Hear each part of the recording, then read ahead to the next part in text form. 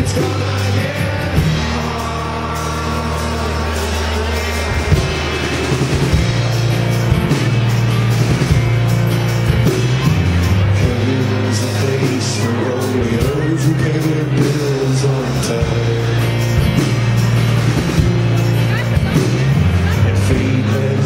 be a true innocence into the